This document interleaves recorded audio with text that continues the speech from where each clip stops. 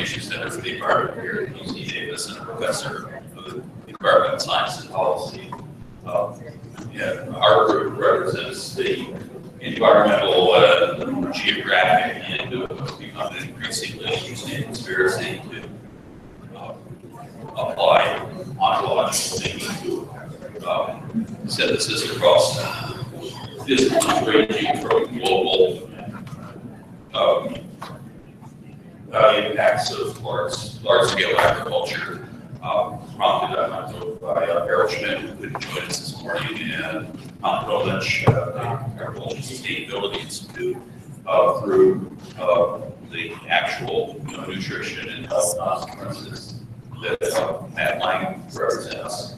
And um, so the information infrastructure, collaboration with the library and our sciences initiative. So it's been an exciting time on campus to use ontological thinking to sort of collect thoughts together, uh, really work together over a range of, of issues that are found at universities tend to be multiple departments and groups who never either talk to one another, use different languages that need to be integrated.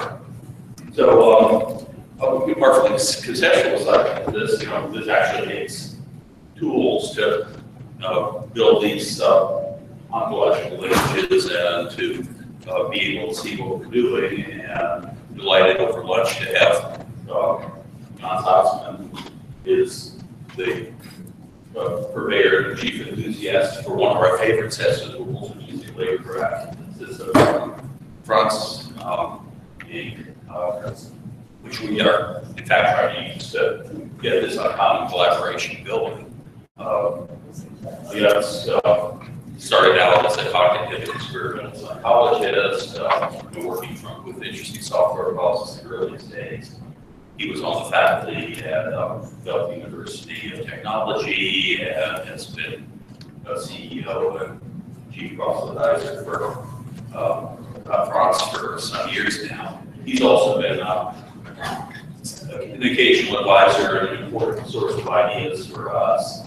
Um, and one of the several interesting industry collaborators that we have been uh, trying to develop in this project along with that Esri, uh, represented by Susanna Crespo and, and that, also Google, Microsoft, uh, and others. So this has been quite eye-opening for, for those in the ivory tower.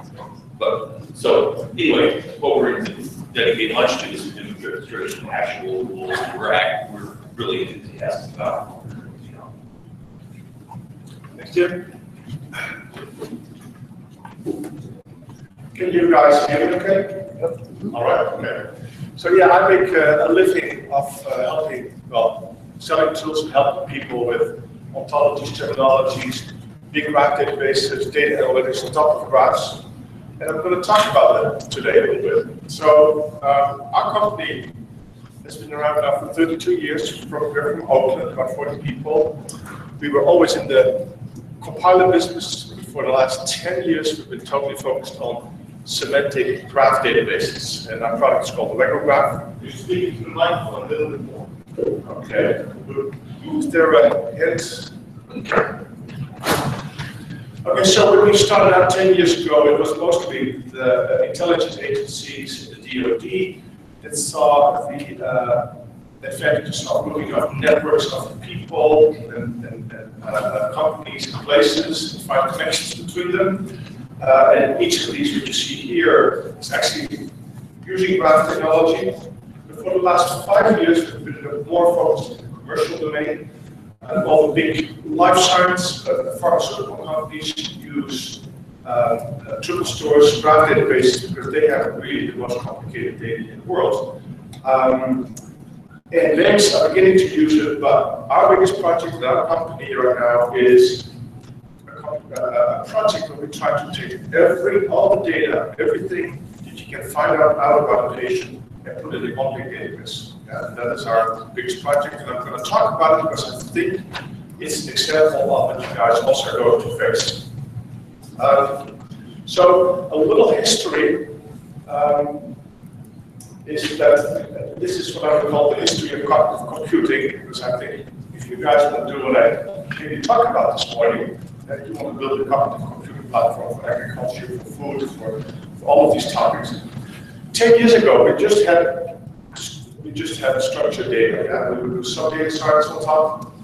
Then the output of the data science would go into reports, or it would go to people, and that was it. Yeah? And then uh, seven years ago, people started to realize that most of the important information in, in the company is not in your structured database, but in everything else, in the logs, in the emails, and if I think about agriculture, it costs a lot of other things. So people started developing natural language processing to get elements out of text, but we also started having key value stores and big data. And four or five years ago, people really seriously started talking about adding knowledge to their uh, databases in the form of vocabularies, taxonomies, uh, ontologies, I mean, 10 years ago, when I talked to Peter Norvig at Google, I said, so what are you guys going to do with semantic technology? He said, oh, no, it's not for us. I mean, we can do everything with a lot of data. It turned around, because now you know, Google has this big knowledge graph that they started developing around four or five years ago. They have Watson, um, which is all about linked data that you can find anywhere, plus terminology systems, etc. And then what we see in the last two years is that people do data analytics on that data. But no longer does it go just to reports, but it actually will go back in the database. So you create learning systems, you say you uh, cluster analytics on your patients, in our case, then you put the data to what patient a cluster belongs back in the database. Now you can do additional analytics where you say, well, patients with diabetes in this cluster, how do you respond to this particular medication?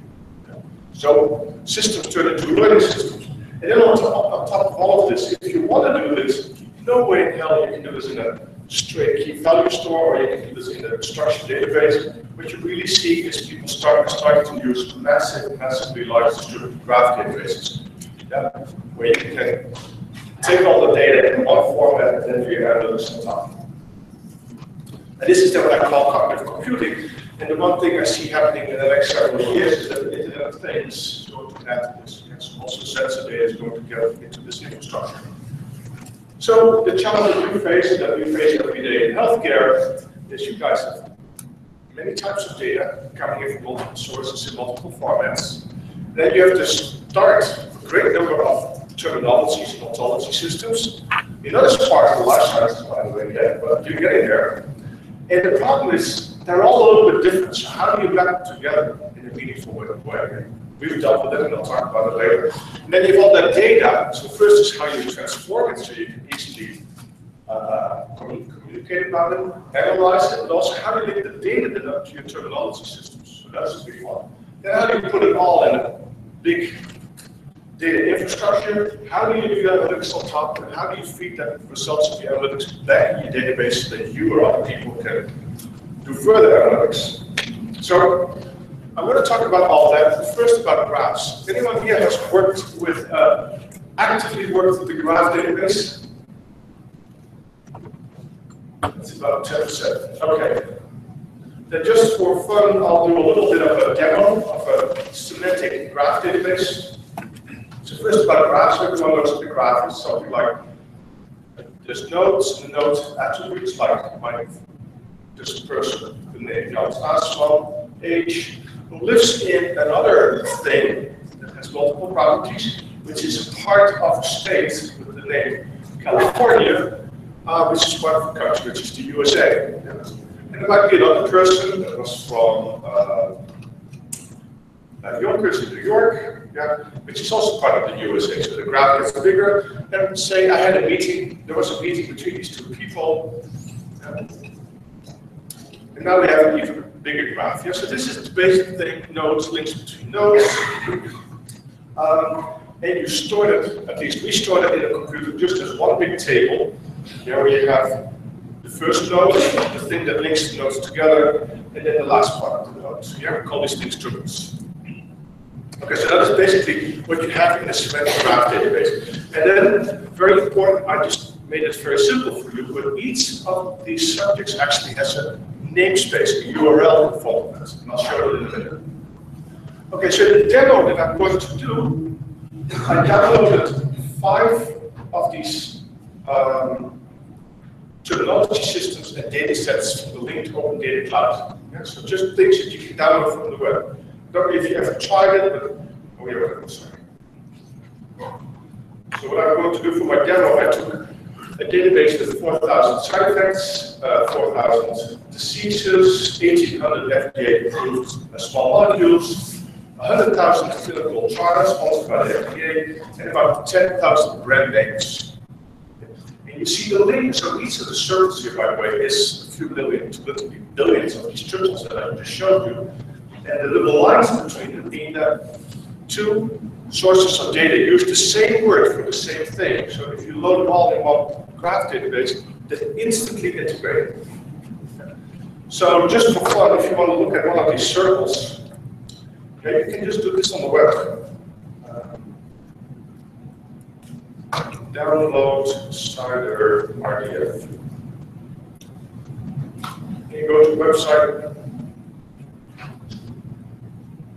and somewhere you will find uh, a SPARQL endpoint where you can go to, or you just do a dump, download endpoint, sit, you download it and you can load it in the database.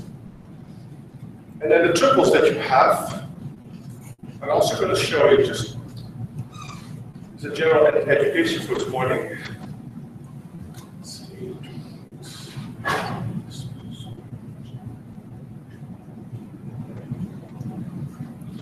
This is a database of diseases I downloaded from the web. Yeah, so here you see, say you want to something with liver, kidney. Then here you see the triples that I just talked about. This is the first part, disease number 912, which is a standard naming convention for diseases. And then this one had a, oh, this, this is a very interesting one, another one. Yeah, this is another. Yeah, so this disease 415 has the name, and that's something I can't pronounce. Yeah. Um, and this disease also has a degree two, a particular size, class degree, etc. etc. So this is the information, just download it from the web.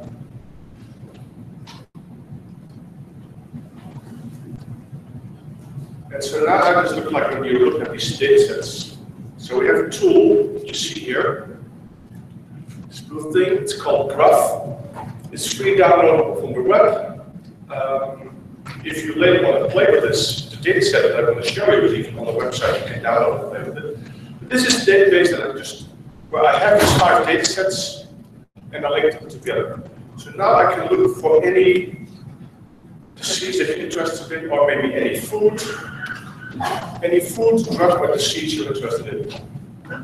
There's not so much in here. Potato, probably. No. Bread? Yes, there's bread. okay, so I find five clinical trials that have the word bread somewhere in there. And I can look at of those clinical trials.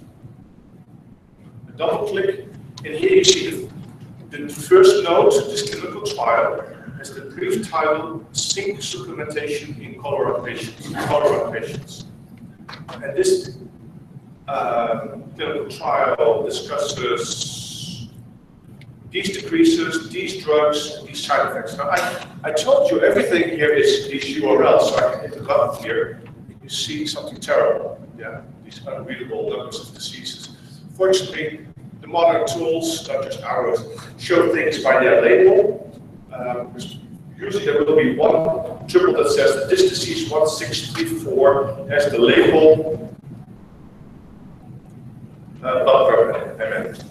So I can now click on say potassium, and I get I jump from the clinical disease database, clinical trial database, sorry, into the drug database. And here we have all the metadata about potassium. Uh, we see uh, the, well, there's not much of a chemical formula here.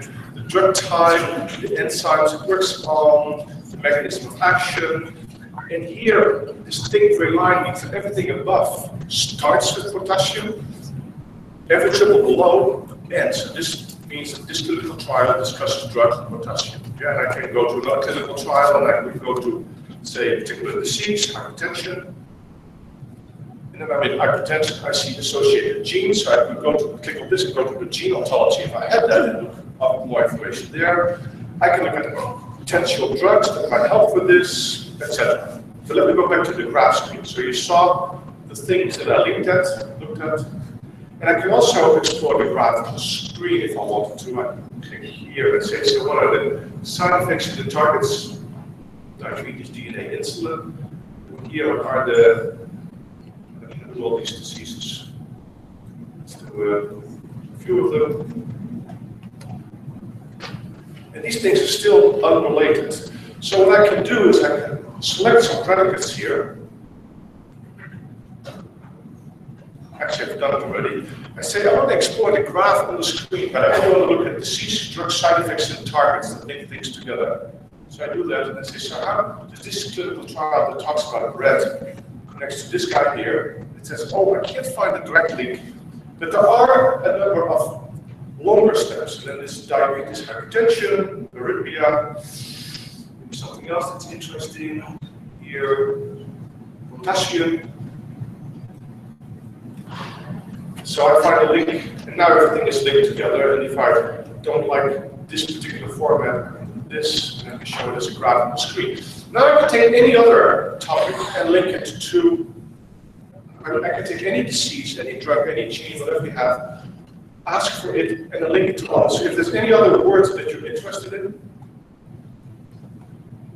okay, so I do my standard one romantic kissing. There's one clinical trial that says uh, effects are called effects of romantic affection on blood chemistry in immune parameters. Yeah, this is a study by the FDA. No clue how expensive this one was. and I can ask, how does it relate to, say, a clinical trial about, well, I don't know where the was here. And there's always a way to go for any clinical trial. This is about diabetes, to get insulin, Now, so I can keep going. Now, if, so I see, I can find patterns, I can link everything to everything, but sometimes you want to know how many times is C reactive protein linked to a trial, a trial to diabetes to, say, um, insulin that links. I can then do just this. I can say, okay, let me connect this, this, this, this, this. Let's put it in a graphical query view. So I just selected a little part of the graph. Then I can say, okay, I want to make this variables, because these are now constants. So I can turn them into uh, variables. And the query says, give me a child that talks about insulin, insulin, and then any other side effect. And this clinical trial will talk about that side effect, and it will talk, talk about C-reactive protein. So then when I run the query, the system automatically creates a SPARQL query, so you don't have to write the SPARQL query yourself. Yeah? And gives you the results if you want. So you can look at the results of your query as a graph. So, um, and then I can keep going with this and say, so well, I don't know everything else that I can find out about this clinical trial. Everything else. Yeah say, well, no, let me say really everything else. And a variable link, link, not very, yeah, now I get lots of other like start dates where the, the clinical trial was done. Uh, I mean, this is a complete nonsense query, but you get my point. Yeah. All right, so um,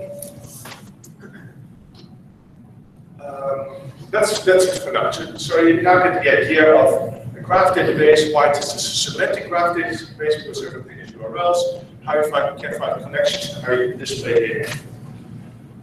So let me now continue with my story. So here we are.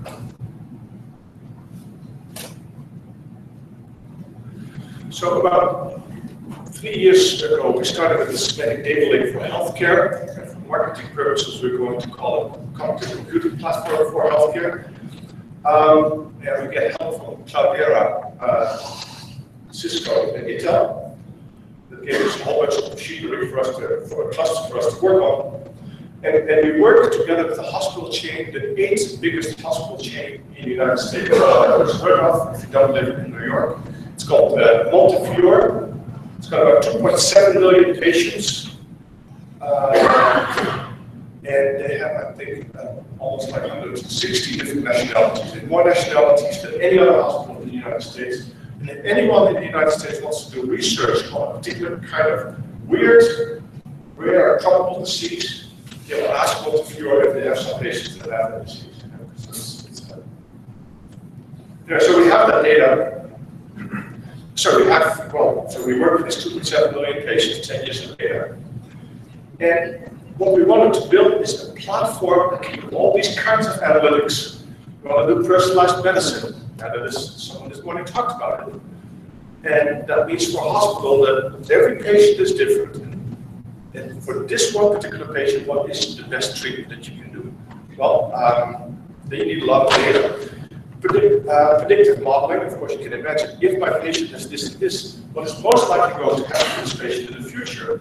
And I'm really not going to go into all of these. Business intelligence is important because hospitals have such a hard time to figure out where they make money and where they lose money. And it's part of the cost of healthcare. And so, um, what we're working on is to find out, can I find for any treatment, for any pill, for any clinical workflow, for any doctor, or any department, can I figure out which ones we make money on, which we lose money on, and why? So a lot of things, but that is the problem for every hospital, big hospital, is that you can go to 10 startups for every box. Yeah? And you can also go to 10 really big companies like IBM uh, or any of the other ones that will say that they're the best in the world to do the kind of analytics. And they might. The problem is if you hire them, 90% of all the money that you spend goes to massaging the data. So what we did at our platform is take all the work away and make one big semantic platform. All the data is ready, so that we can now ask vendors to come in and actually do the kind of analytics that you need directly on top of the data that we prepared. Now, what kind of data do we have? Um, sorry, this. Yeah, so you have a regular patient, yeah, and that generates, that guy generates an enormous amount of data. We have patients in the database, 10 million triples, just one patient. Because nowadays, when you send a patient home, you absolutely don't want to see him back in within 30 days, otherwise you are responsible for every other cost. So what you do is you give him an iPad, and you ask everyday questions, did you take your pills?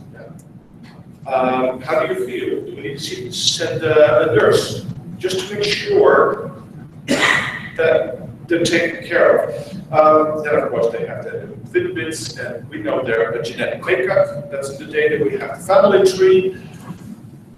Things are implanted in the patient to generate data. There's this big epic hospital system with all the electronic medical records that generates a lot of data. Uh, ICU, it's, it's, it's a whole internet of things in itself, where we have more than 50 sources of, well, high-speed data coming at you. Um, there's the tests, there's the analog data, there's the image data, uh, pharmaceutical data, sorry, the pathological data. Anyway, I don't need to go all of this. You can just imagine this as really, a really a lot of data, and humongous. So we created a platform to take it all in, and we're still working on. Not all of what I just showed is already in there, but we're working on it. And so what we're trying to build is this, and what we have achieved for most part is this very high level mature analytics platform yeah, that can do all the things that you see here. And like everyone starts out, yeah, is in every hospital, is you literally have hundreds of uh, siloed databases to keep your operations running. Each of databases is important. The one problem is that none of these databases talk to each other. And I can tell you that when you're a database designer, there's not a single neuron in your head thinking about how is my database going to work with your database. It just, no one teaches that to the database makers. Yeah? It just happens. Nowadays, people talk about master data management, there's a little bit of a movement there, but most people, you just want to solve a problem, so you make a database schema. Now, because that's so hard to do analytics on hundreds of databases, people spend a lot of money and I'm saying hundred million dollars here, it's actually often far more, to create an enterprise data warehouse. You can buy uh, an Exadata platform from Oracle for at least ten million dollars. And Then you hire a whole group of programmers, database people, and you start moving data from this individual databases to enterprise data warehouse. The problem is, now you have to speak one big database with, in our case, 4,000 different tables and more than 10,000 different columns. So doing analytics on that is next to impossible. So here's the things that we did. First thing is we created a radically, very, very simple schema. We took everything that could happen to a patient, whether it's a check-in, check-out, test, diagnosis, procedure, medication, administration, and made it into an object. So we have only, well, we have the person is an object, and then everything else, everything else is an event. So the address of the patient is an event because that changes. Um, the name, people change names. Um, so, so we have this ontology of the super, super types, event, and then we have sub-events. And of course, you still have to know about three, four hundred different types of events. It's become much more simple to deal with.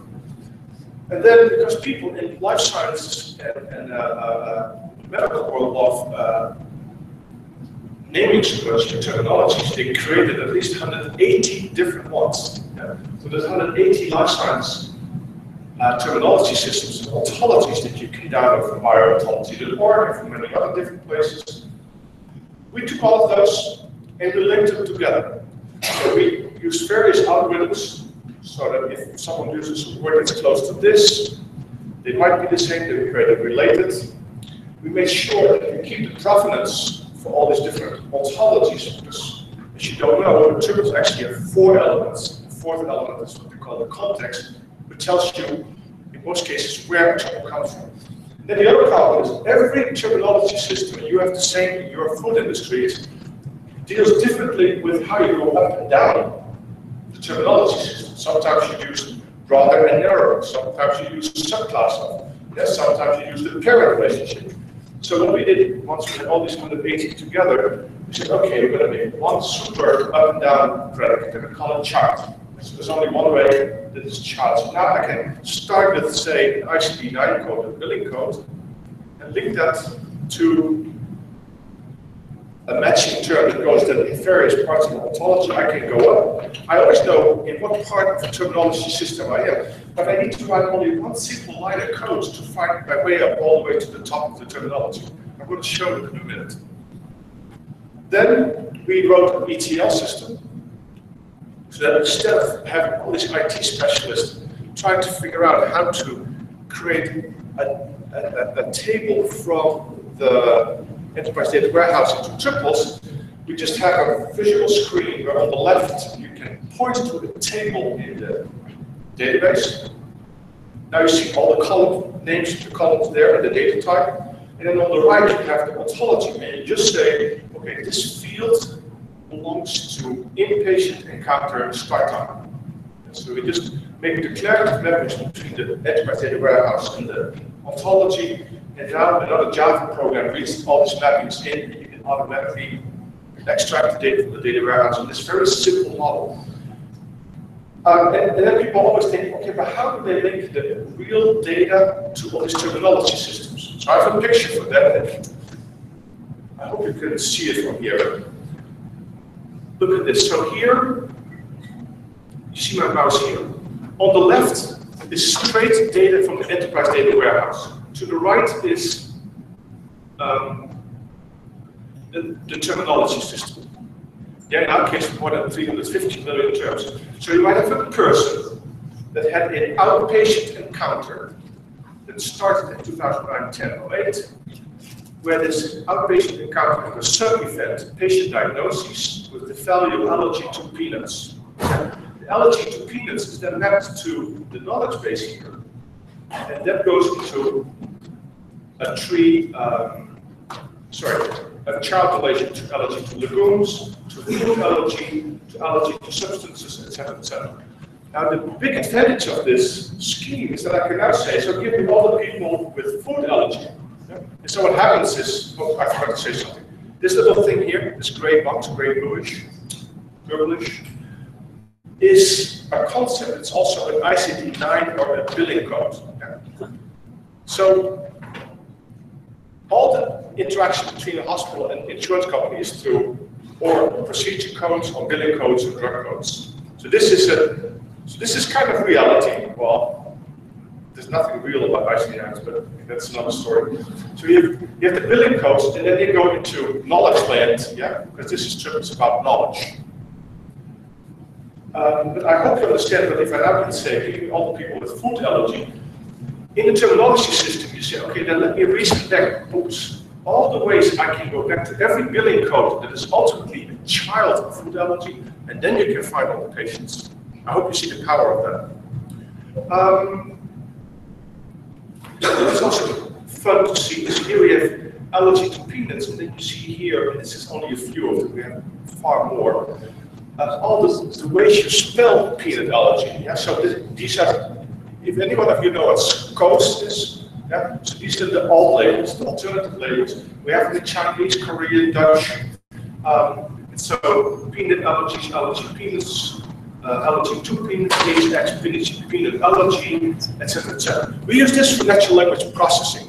Yeah, so we found in texts how people talk about peanut allergy. We put it back into our triple store in our terminology system. So now when we analyze electronic medical records, take the doctor's notes, we have a little bit more help because we can we, we, we already know how peanut allergy is misspelled, or, or anyway, what the, the, the, the, synonyms are. And that helps us greatly in then getting to the, the base concept that we actually want to use. And whatever you guys do in your work, it's also very important not only to look at the name, but also all the alternative names and make that part of your knowledge structure.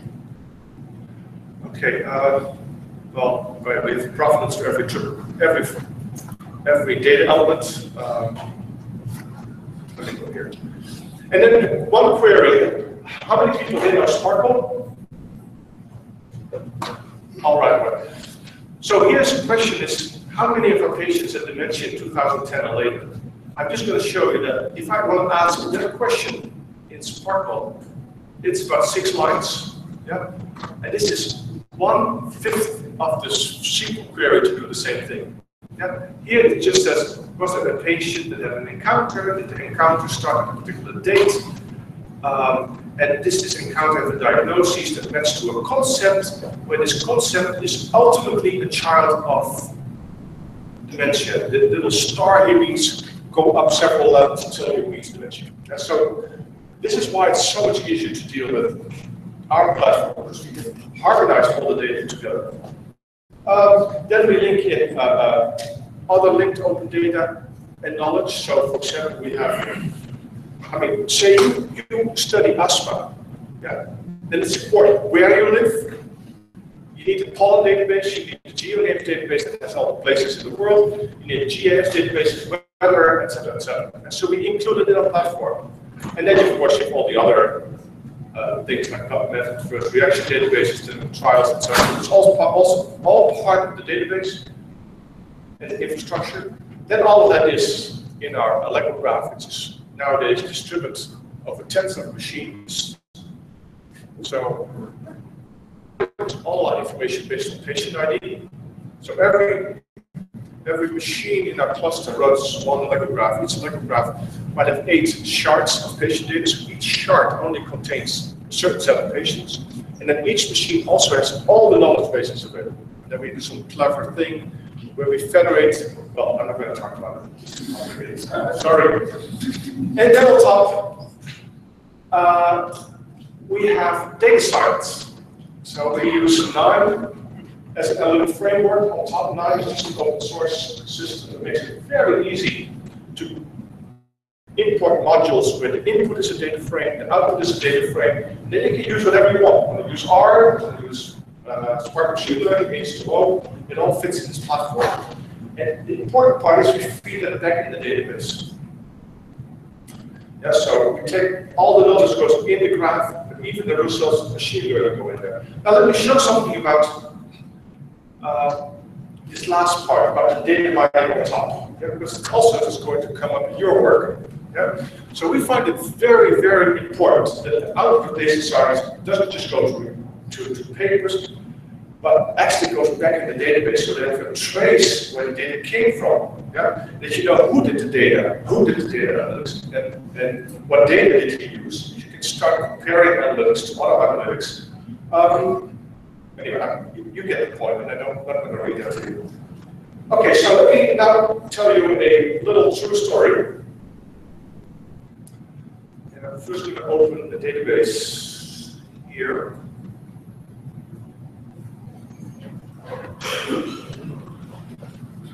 So, um, I, talked about it last year when I was giving a lecture here, but most people haven't heard the story. So I had a friend in 2000, that in early 2015 gave his four-year-old kid his first spoon of peanut butter. And within 30 minutes, the doctor had saved the kid's life in the, emergency room. And this is kid in a total anaphylactic shock. So the doctor later looks at that chart of the kid and he says, you know what? I could really have predicted this because this kid has dermatitis and asthma, and it usually goes together with peanut allergy. So my friend tries to look it up on the internet in early 2015 and couldn't find it. And so it came to me said, Jans, uh, you have all the data, can you see if this is a known effect? It's actually going to start, well, you're recording me? Okay, I'm not gonna talk about. But streaming. Streaming, uh, that I'm definitely gonna talk, not gonna talk about it. Okay, so he was interested in that, um, he wanted to know if that was true. I said, okay, well, let me look. So I took uh, all the diagnostics for every patient on the database, uh, in, in, a Spark. I computed the co-occurrence between every diagnostic. You guys know what co-occurrences? Yeah, so uh, it's like how many times does someone have peanut allergy and uh, dermatitis, how many times does someone has peanut allergy and a broken left leg, etc.. So now you make this big table. And then what you do is you look for each number and you look, given the distribution of say of allergy to peanuts and dermatitis, how, how often, what could I expect, how often that happens together? Yeah, in this case, it would be very small. The number I see is much bigger. So we compute a thing we call the odds ratio, which basically says, well, here, for the mathematically inclined, um.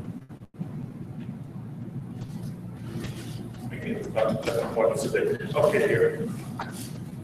So I have this database available, and I, I, I computed all these odds ratios, and I put the odds ratios back in the database. So now I can do this. Go to the query screen.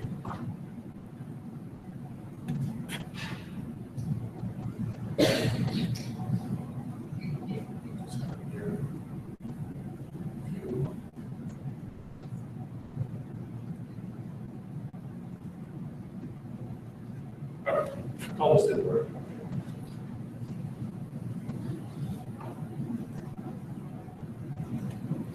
Yeah, so this is, you guys can now read this because that's the previous demo. So this says, find all the odds ratio objects where the from is peanuts and the to is another, uh, in this case, ICD-9 code. The, the top one, basically I'm asking for the top five other things related to peanuts. And so I did this query for the first time. And when I saw this, I literally almost fell from my chair, this was 100% what the doctor said. Yeah? It's not many times in my life that you test a hypothesis and it comes out so beautiful. this is one of the rare cases where it came out just like I, you hoped it would. And this was this says that uh, if you have a peanut allergy, then dermatitis due to food intake internally is 210 times higher, and extrinsic asthma with acute exacerbation is 62 times higher. Yeah, and then you get another asthma, another dermatitis, and upper respiratory infections. Yeah. So this is just what the doctor said. And actually, in the end of 2015, there was a big, uh, I think, a paper in Nature where they say if children, if children have asthma and dermatitis, they need to be tested for peanut allergy. So I'm very happy I did it at the beginning of 2015. Um, so here is the visualization of this query. And um, so here you have the top five of these. And my friend also wanted to know if these guys were in the themselves related. So I said, okay, let me look.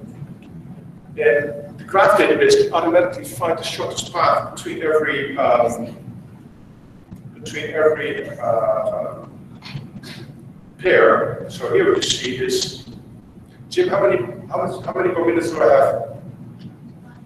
Five? Okay, easy, easy. Yeah. I'm almost done. And I can do this. I can do it again.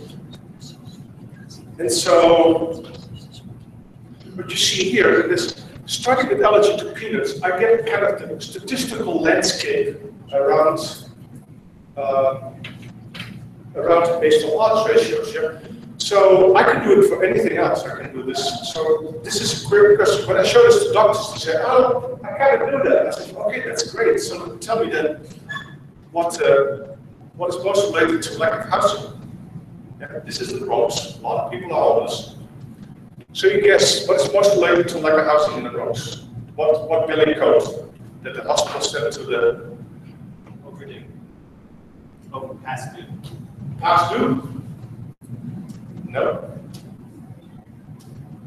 Okay.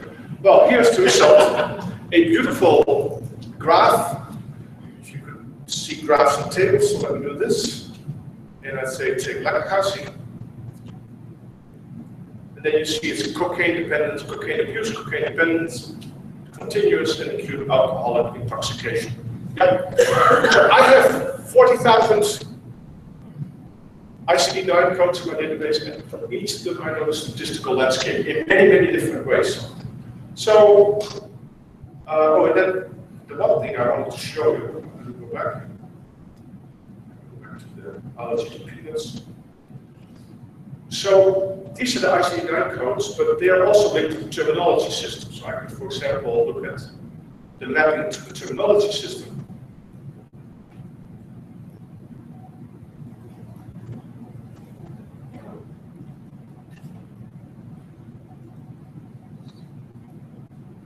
And this. Now I select the child relationship.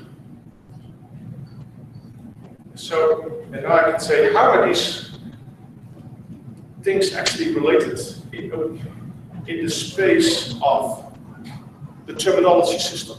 So it's going to go here. It's kind of unavailable for a little bit.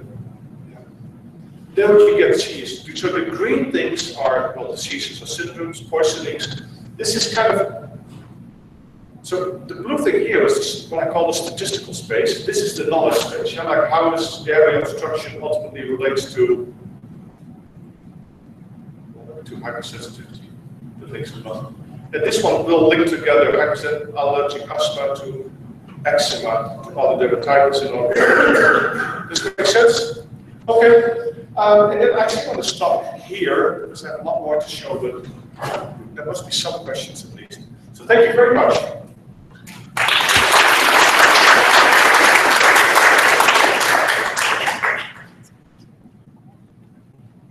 Any questions? Too much? Yeah? How would you characterize the availability of uh, open link data? Because I can imagine the business organization would have their own data to kind of transform, but then would want to take advantage of existing data. Can you kind of characterize the distribution along different industries or is it a thing, a lot of a lot of people do, or just getting into, how would you kind of the the maturity along this um? Well, this is 100. The life sciences and medical is here, everyone else is not here.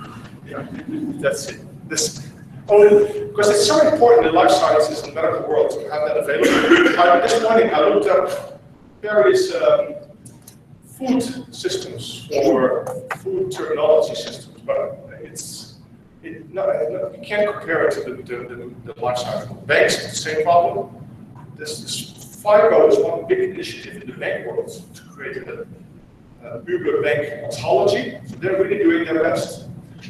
Engineering world has a few really good uh, terminology systems. Building world world of building buildings. Is turned into these ontologies. Uh, chemists, but then part of the life sciences, so that's, I would say, life sciences is a shining example of how to do it.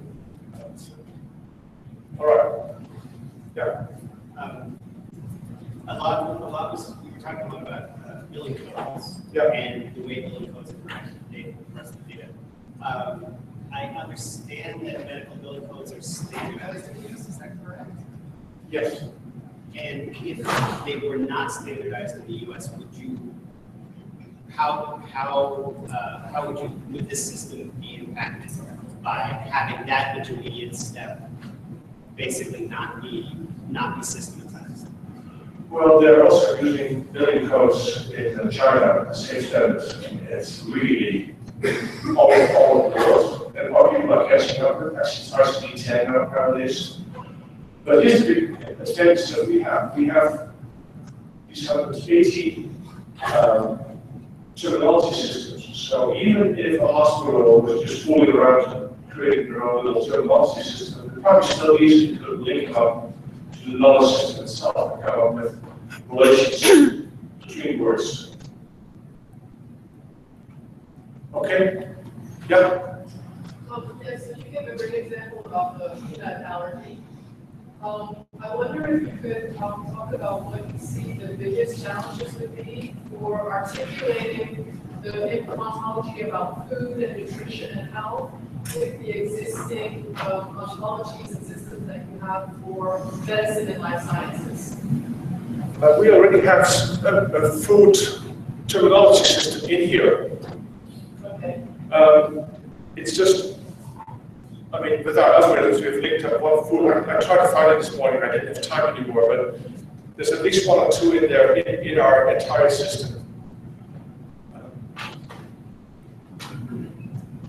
But it's, it's, it's going to be very important, because food, of course, is a, is a huge, uh, determinant for certain diseases or for health, actually. So it, it should be in there, and, uh, whatever you guys make, they're really welcome in our platform. A- anything you can do, especially if you have ingredients databases, yeah, we know things about ingredients, then we can do more data analytics and, and, and start doing research that people that eat this have a tendency to get that or have better health.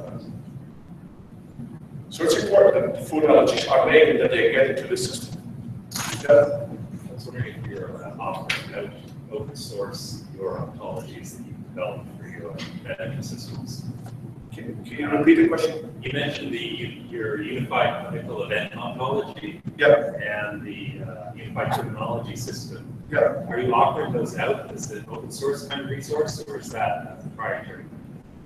Uh, we are very seriously considering to make it open source. We're Writing an article right now about the entire platform, scientific article about the entire platform, and well, our business model would be that we keep that whole thing up to date. And so, or a subscription model, or would be open source, we're seriously thinking about it, because we, that's the one question I get every lecture I give to people from the industry, and um, it- yeah, All right. Okay, I think uh, that, we're done.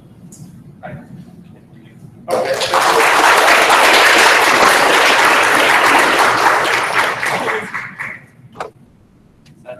Thank for a great presentation. I'd just like to take a moment um,